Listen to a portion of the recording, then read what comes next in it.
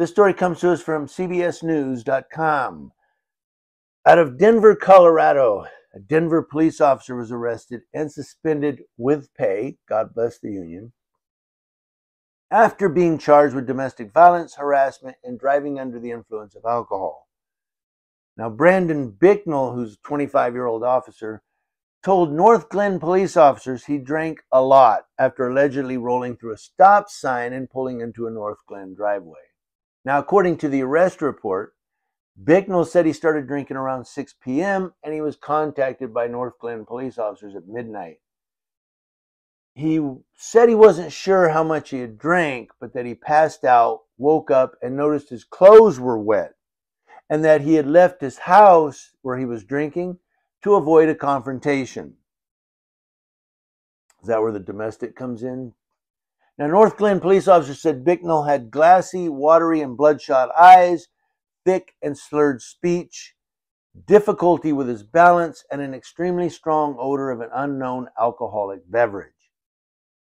Bicknell did a sobriety test, which officers said indicated intoxication, and then he blew a 0.186 on the breath test. That's more than twice the legal limit. Twice the legal limit would be 0.16, whatever. He's 0.186. So that could be rounded up to 0.19, I guess. Yeah, this dude's drunk. During the course of the investigation, Northglenn officer spoke to an alleged victim of domestic violence who said Bicknell was yelling at her. Investigators said they saw a pantry door was knocked off its hinges and had a hole approximately the size of a fist and approximately the height of the alleged victim's head. So he missed. that person's name is redacted in the report. Of course, she's a victim.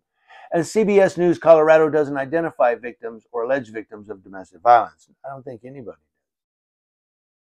But when officers asked if the alleged victim thought Bicknell was going to hit them, that person said, I don't know, uh, while crying and visibly upset, according to the arrest report.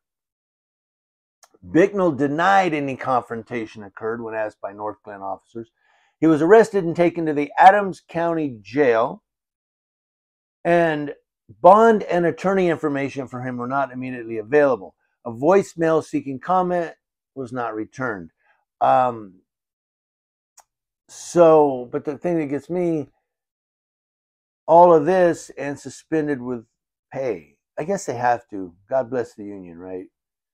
Um,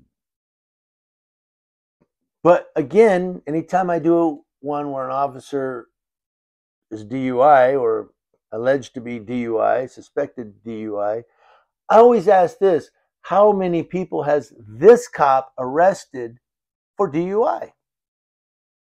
And here he is. Now he's on the receiving end of it. Yeah, and on a final note, I just want to say people keep complaining about my teleprompter over here, the computer screen. Hey, look,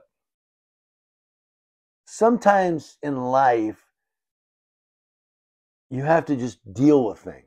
Sometimes in life, you just have to go, you know what? I'm just going to deal with it. Deal with it. Yeah. Love all of you guys for watching. I do appreciate you.